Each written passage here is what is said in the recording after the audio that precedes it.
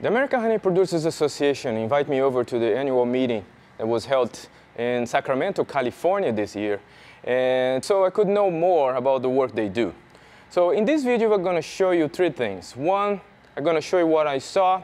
Second, I'm going to tell you my thoughts about the association. And third, I'm going to tell you some cool stuff that's coming to the channel. So stay tuned.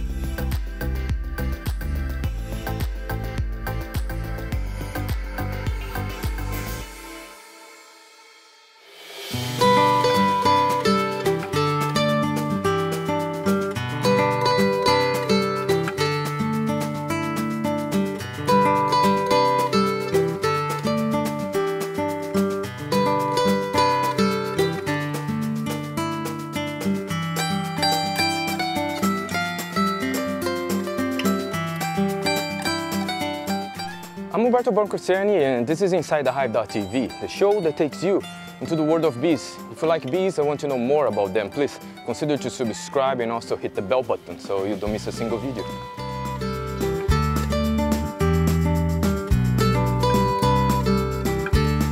The American Honey Producers Association meeting this year was held in California, in Sacramento, and it was very nice. Uh, it was a little chillier than I expected, but I had great time. They have plenty of good restaurants, uh, coffee shops, very nice, interesting places to visit. I highly recommend it. It was my first experience with American Honey Producers Association, so it was my first visit to one of the, their meetings. The talks were very informative. I have to say I learned a lot. They brought a variety of different people, different backgrounds, uh, researchers, uh, beekeepers, uh, people from the beekeeping industry, I'm on board. Was very, plenty of good and relevant, relevant information. Um, I learned a lot. They even was uh, nice enough to allow me to record one of the talks. If you miss it, uh, I will leave a link here. Dr. Frank Rinkevich uh, talk about his research regarding varroa mite resistance to Amitraz. I think it's a very important subject that we need to look at it. So uh, I record the whole uh, talk and they allow me to publish here. So you can find right here. I escaped from one of the talks to, to record uh, better the vendor area so I have more a chance, a good chance to talk better with the vendors. They're not going to be busy taking care of other people. So what I can tell you, there was a lot of vendors, different technology coming to the market, different products. Uh, was very, very interesting. I interacted with a lot of them. I even make a whole video about one of the technologies that I saw that, got my attention and you can find that video right here. So very quickly before we go continue with the video to talk about my opinion about the association, I just want to reach out to my Patreon people to say one more time thank you very much for the support and to answer your questions, yes, I am doing a video about the new uh, genetically modified bacteria that can fight varroa and viruses that was recently published on Science magazine. So if you have questions and want the answer answered, please leave a comment in the comment section below or on Patreon.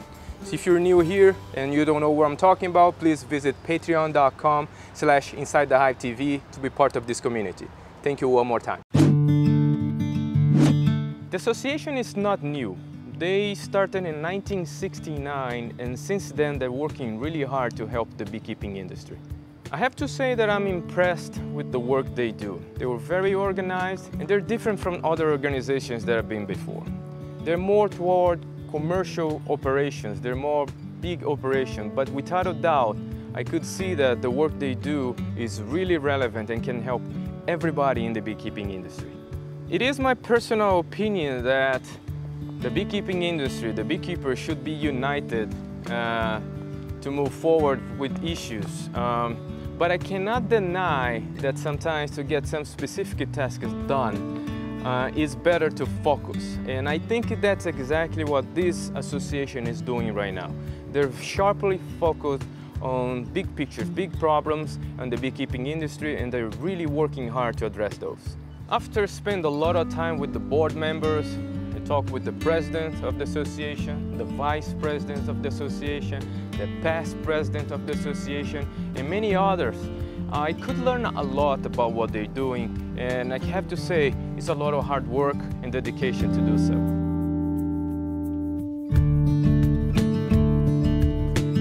As I mentioned before, they're dealing with big problems. Uh, for example, we talk about honey fraud.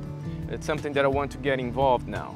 We talk about dumping. People that are trying to mess up with the price of honey in, the, in our market here. Very, very big problem that we have now. Uh, we talk about uh, the development of possible uh, honey certification programs. We talk about the ELAP program. They're doing a lot of different things at the same time. So if you want to know all the achievements in the past and the projects they are working right now, please visit them at the, their website. I'll leave a link in the description below.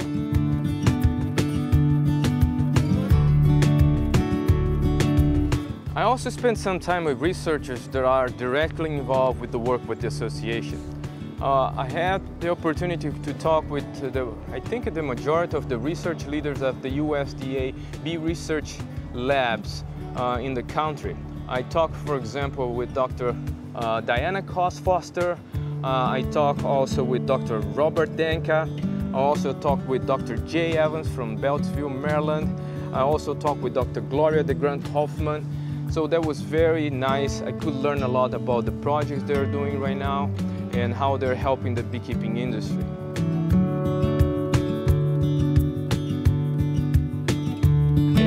Fun part of the trip was to, be, to go in the inauguration of the new USDA Bee Research Lab in California, uh, in California Davis. So it's a new USDA Bee Lab located in California. That's a great achievement. Everybody should be proud of that. Uh, to me, was always a, a, a weird idea to uh, trying to understand why California, one of the biggest states for beekeeping, uh, do not have their own USDA bee lab. So now apparently this is, this is fixed and we have not only a new bee lab there in California Davis, but also two new hires, two new research scientists, Dr. Arathi Seshadri and Dr. Julia Fine. They will be leading very important projects to help the beekeeping industry. Good luck for you guys.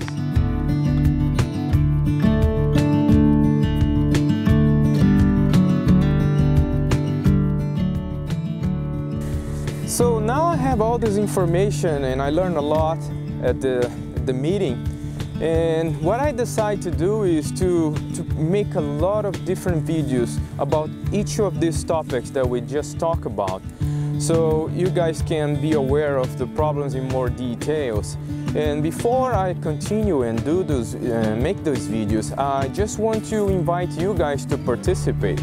So if you, if you like the things we're doing here and have questions for me or for the association, about suggestions, uh, things that you would like them to, to be fighting for the beekeepers, please leave a comment in the comment section below, or leave your questions there, and I will try to address those questions, try to talk with the association about those questions, and we can, and then this is gonna be my guide, uh, my guidance to make the videos in the near future. So I, with that, I'll leave it here. Uh, thanks for watching InsideTheHive.tv the show about bees. See you guys next week. Bye bye.